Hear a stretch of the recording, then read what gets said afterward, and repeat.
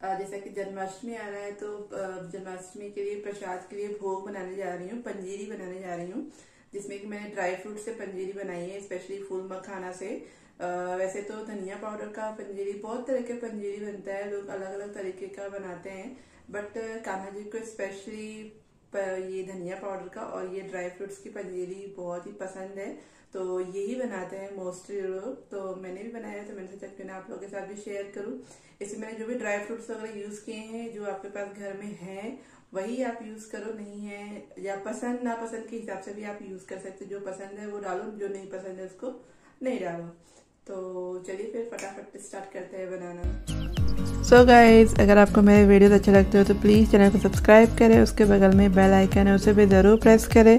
इससे मेरे latest video का अपडेट नोटिफिकेशन आपको सबसे पहले मिल जाएगा। सो so, यहाँ पे हमें पंजीरी बनाने के सबसे पहले एज यूजल मखाना का है तो फुल मखाना चाहिए होगा। उसके बाद मैंने यहाँ पे थोड़े से पीसेस में कट करके काजू बादाम और पिस्ता जैसे लंबे लंबे स्लाइस में कट कर रखा है। उसके बाद हमें यहाँ पे दो बड़े चम्मच घी चाहिए होगा। यहाँ पे मैंने तीन बड़े चम्मच शक्कर ले रखा है। इसको अभी हम पाउडर बनाएँगे। अगर आपके पास कैस्टर शुगर पहले से पड़ा हुआ है तो वो भी आप इस्तेमाल कर सकते हो। इसके बाद मैंने यहाँ पे डेसिकेटेड नारियल पाउडर लिया है। अगर आपके पास ये नहीं है तो जो सूखा नारियल होता है ना, उसको आप ग्रेट करके वो भी ले सकते हो। उसके बाद मैंने यहाँ चार से पाँच इलायची ले रखी है हरी। इसको भी हम अभी क्रश कर लेंगे।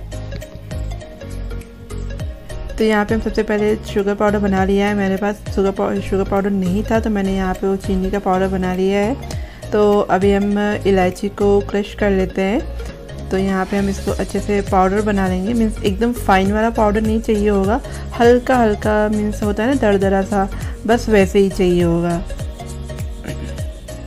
तो अभी जो ये छिलके हैं ना, इसको निकाल देंगे। आप इसको फेंकना नहीं। चाय वगैरह बनाते हैं ना अपन तो इसको इसमें इस्तेमाल कर सकते हैं। तो अभी हम इसको हल्का सा कूट लिया है तो यहाँ पे आप देख सकते हो। फिर यहाँ पे मैंने कढ़ाई गर्म होने के लिए रख दी है।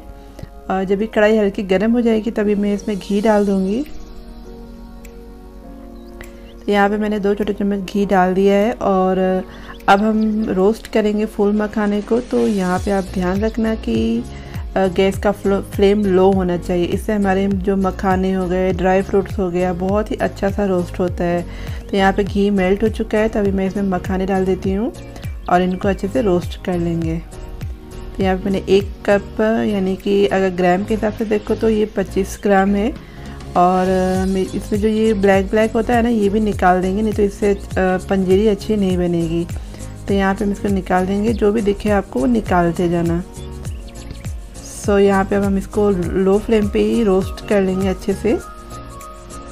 अच्छे से भून लेना है हमें ताकि मीन्स जब हम इसका पाउडर बनाए तो अच्छे से इसका पाउडर बन सके।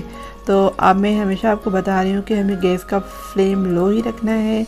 लो फ्लेम पे ही हमें इसको भूनना है। इनफैक्ट सारे ड्राई फ्रूट्स को हमें लो फ्लेम पे ही भूनना चाहिए।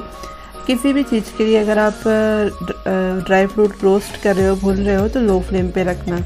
लो फ्लेम पे भुनना। इससे बहुत अच्छा सा टेस्ट आता है, बिल्कुल जलेगा भी नहीं और आपका एकदम क्रंची क्रंची रेडी हो जाएँगे ड्राई फ्रूट्स यहाँ पे आप देख सकते हो कि मखाने बिल्कुल रेडी हो चुके हैं तो अभी मैं इसे ट्रांसफ़र कर लेती हूँ थाली में ताकि थोड़ा ठंडा हो जाए। तो सेम कढ़ाई में मैं वापस से थोड़ा घी डालूँगी तो यहाँ पे मैंने एक छोटा चम्मच घी डाला है और इसमें मैं अपने ड्राई फ्रूट्स रोस्ट कर लेंगे। तो एज़ यूज़ुअल मैंने गैस के फ्लेम को बिल्कुल लो पे रखा हुआ है। लो फ्लेम पे ही हम सारे ड्राई फ्रूट्स को रोस्ट कर लेंगे। तो यहाँ पे मैंने काजू, बादाम, पिस्ता मतलब यहाँ पे मैंने मेलन सीड्स ले रखा है। इससे भी बहुत अच्छा सा टेस्ट आता है हमारी पंजीरी में। और जो भी आपके पास घर में ड्राई फ्रूट्स हो, वो आप इस्तेमाल करना। अगर नहीं है, या इसमें से कोई ऐसा है जो आपको पसंद नहीं है तो वो भी आप स्किप कर सकते हो।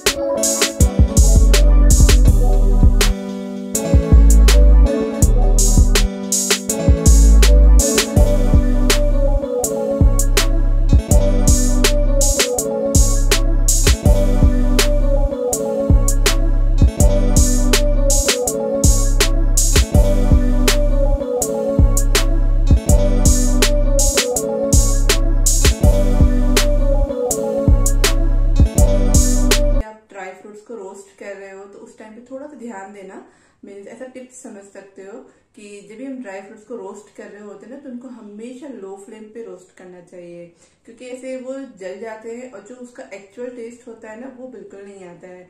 तो आप धीमी गैस, धीमी आँच पे आप उसको रोस्ट करोगे तो उसका बहुत ही अच्छा सा कलर आएगा और इक्वल कलर आएगा और वो जलेगा भी नहीं और टेस्ट भी उसका एकदम इनहेंस मतलब बहुत ही अच्छा सा खिल के उसका टेस्ट आएगा।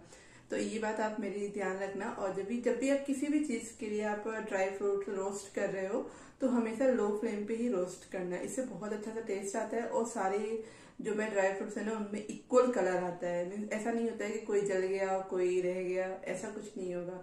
मेरे मीन्स बहुत अच्छा होता है। ये, ये एक टिप है जो मैं आप लोग साथ शेयर करना चाह रही थी। आई एम सो यहाँ पे मैं एक मिक्सिंग बाउल लूँगी और मिक्सिंग बाउल में मैं यहाँ पे जो मखाना हमने भून के पाउडर बना के रखा है उसको हम मिक्स निकाल लेंगे मिक्सिंग बाउल में। तो ये भोग हमें मीन्स आप रेगुलर जैसे भगवान जी को हम भोग लगाते हैं ना उस बेसिस पे भी बना के आप इसे स्टोर करके रख सकते हो और डेली भगवान जी को भोग के, के रूप में इस्तेमाल कर सकते हो। ये आपका ख़राब नहीं होगा। तो यहाँ पे मैंने शुगर पाउडर भी डाल रखा है जिसको कि कैस्ट शुगर बोलते हैं। तो ये भी कैसे बनाना है मैं आपके साथ जल्दी शेयर करूँगी। उसके बाद मैं यहाँ पे रोस्ट किया हुआ सारे ड्राई फ्रूट्स हैं वो भी डाल दूँगी। ठंडा हो चुका है बिल्कुल गर्म नहीं है। आप भी इस बात का ध्यान रखना कि ठंडा होने के बाद ही हमें इन सबको मिक्स करना है। आ, नहीं तो फिर वो चीनी है ना पिघलने लगेगी अगर आप गर्म गरम पे ही डालोगे तो। चीनी की क्वांटिटी आप कम ज़्यादा कर सकते हो मीन्स जैसा आपको मीठा पसंद हो उस हिसाब से आप कम ज़्यादा कर सकते हो। तो यहाँ पे मैं इन सबको अच्छे से मिक्स कर लेती हूँ। सारा इंग्रेडिएंट मैंने एक मिक्सिंग बाउल में डाल दिया है और इन सबको हम अच्छे से दो स्पून की हेल्प से या आपको जैसे भी कंफर्टेबल लगे, वैसे आप इन सबको एकदम अच्छे से मिक्स कर लेना। तो इस जन्माष्टमी आप भी ऐसे पंजीरी बना के भगवान जी को भोग लगाओ, कान्हा जी को, उनको बहुत पसंद आएगा और घर में भी सबको बहुत पसंद आएगा। और ऐसे बोल सकते हो आपकी मीन्स टू इन वन हो गया ना, मीन्स प्रसाद का प्रसाद भी हो गया और सुपर हेल्दी हो गया, क्योंकि हमने इसमें बहुत सारे ड्राई फ्रूट्स ऐड किए हैं, जो कि हमारे हेल्थ के लिए बहुत अच्छा होता है। तो आप सभी इसे बना के कान्हा जी का मीन्स कान्हा जी को भोग लगाओ और उनको ज़रूर पसंद आएगा, आप सबको भी ज़रूर पसंद आएगा। आप भी बनाना और अपना एक्सपीरियंस मेरे साथ ज़रूर शेयर करना कि आपको ये रेसिपी कैसी लगी। अच्छी लगी तो प्लीज़ प्लीज़ प्लीज़ वीडियो को लाइक कर देना और कमेंट ज़रूर करना। और जिन लोगों ने अभी तक सब्सक्राइब नहीं किया है, वो भी प्लीज़ चैनल को सब्सक्राइब करें। तो आई होप आपको ये रेसिपी अच्छी लगी हो।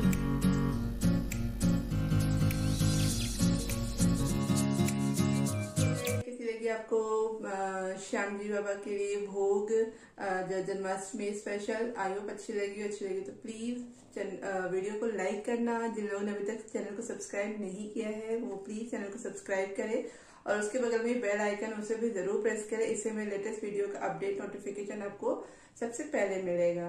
तो चलिए फिर मिलते हैं नेक्स्ट वीडियो में। तब तक के लिए बाय बाय एंड जय श्री कृष्णा। हैप्पी जन्माष्टमी